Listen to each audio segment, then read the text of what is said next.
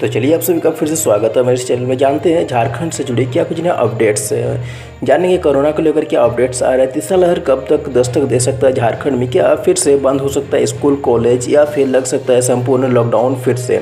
तो आपको बता दें झारखंड समेत कई राज्यों में एक बार फिर से कोरोना का बढ़ गया है रफ्तार। विशेषज्ञों को माने तो सितंबर से अक्टूबर में आ सकते हैं तीसरा लहर। ऐसे में सबसे ज़्यादा प्रभाव में डाल सकते हैं बच्चों को, क्योंकि अगर तीसरा लहर आता है तो सबसे ज़्यादा डर रहेगा बच्चों को लेकर।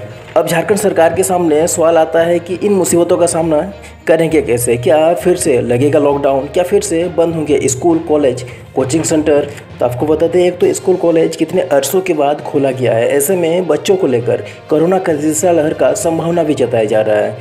क्या फ़िलहाल के लिए बंद कर देना चाहिए स्कूल?